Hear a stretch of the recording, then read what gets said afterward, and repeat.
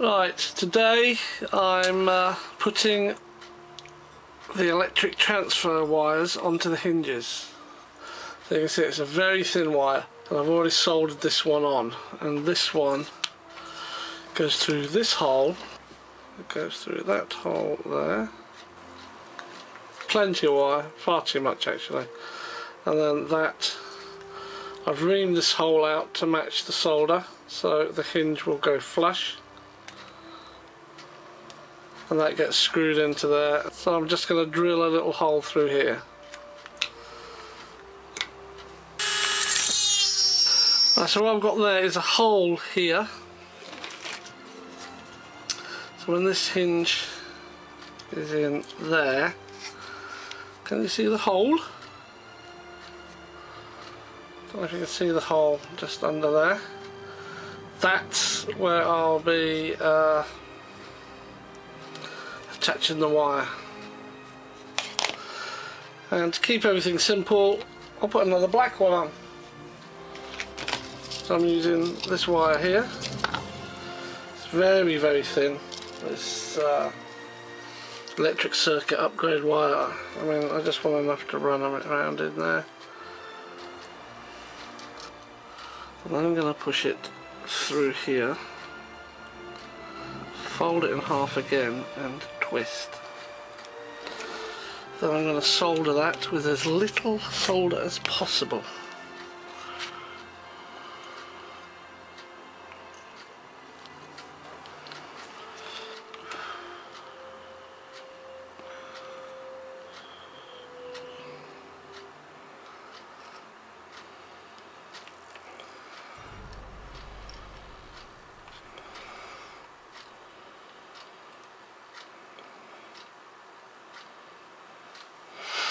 That hinge will still be very hot but it's well connected. Now what I need to do is just trim the ends off each of these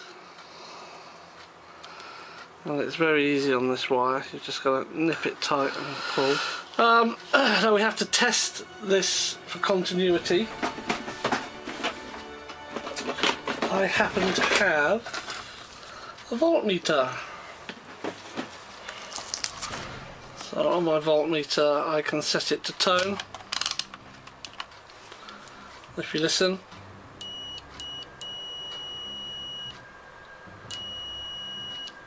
That's what I expect to hear when I touch the ends of these wires.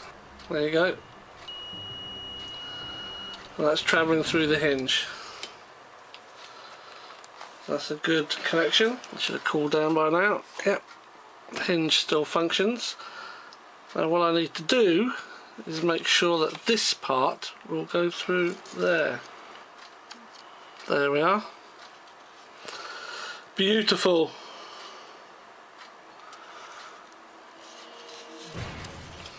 And that will be um, epoxied in place when the time comes and I'll also put some hot glue just to keep the solder joint firm.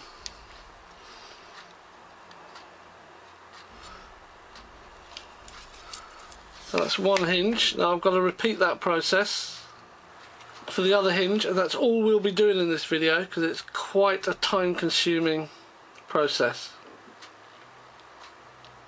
So I'm using red wire this time. Uh, so that's the hole for the body. That's um, this side. I don't know if you can see that but there's a hole there now. So I've got to solder onto this. So the first thing I've got to do is clean it up a bit.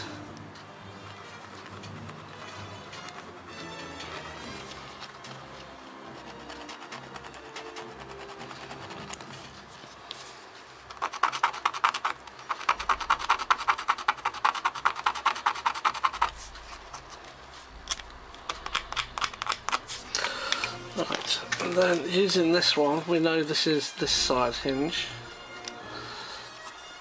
That's where it's going to sit. The hole is here. But the hole is slightly to the right and left. So I'm sort of gauging where I've got to solder. It's about there. That pencil mark. A bit higher. It'll come up a bit. Hold the hinge. Uh, so let's put some solder on that first.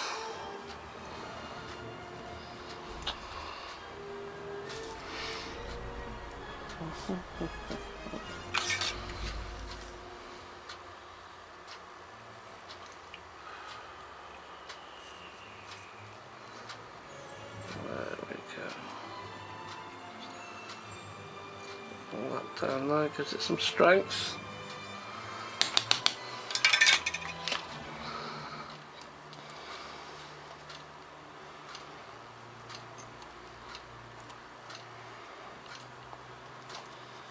Now,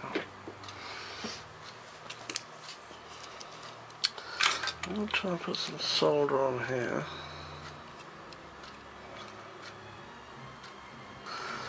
Now,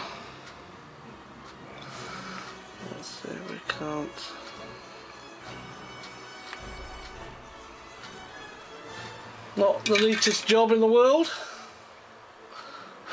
I think it will hold. Yeah, that might have to come back down a bit like that and up from there.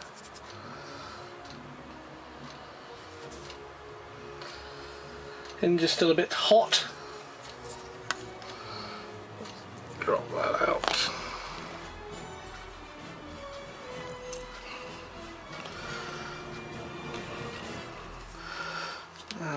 That's going to sit in there very nicely. The next thing I've got to do is attach the red wire onto this side. So I've prepared my length of wire. And I'm going to put it through the hinge. You can't see much because of my clumsy hand.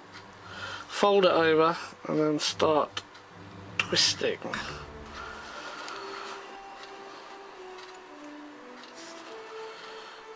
Like that.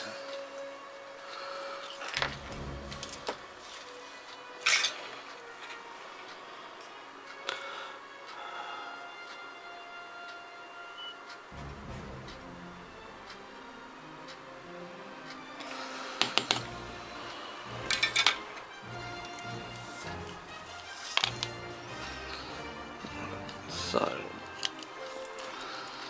this is the side I'm having the red on, which is positive.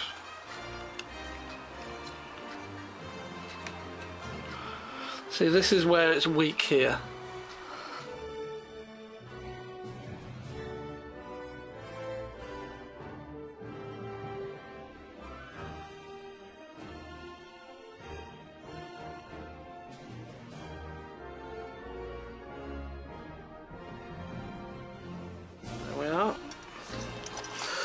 Now before we go any further I'm going to do a continuity test on these wires before I finally fix them in place. Let's see what happens. It's good. Check the black. It's good. So what I want to do now is get a bit of hot glue and just tack that wire down there take the pressure off it off the solder joint. And the same with that one there. Just tack it there a little bit okay. So this is just going to get a dab there. That's all it needs.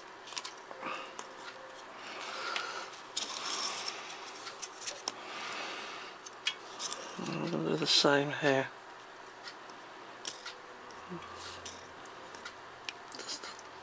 There. Uh, and all that does is take any strain off those solder joints. Now, as long as this ridge here is clear, we should be okay. So if I just fold that in there, What I want to do now is just make sure that this will course it's always? Sit down nicely over there which it does. A bit low there it's not as low here. Don't know why that is I'll have to check that out. Might be that screw actually. It is that got a mark here where that screw I'm going to have to dremel that screw off.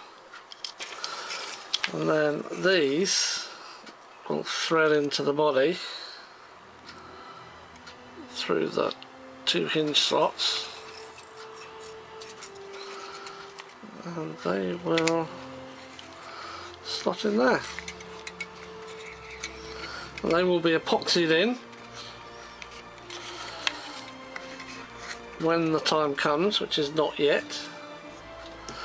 And they will provide power from the battery in the main body through the hinge into the door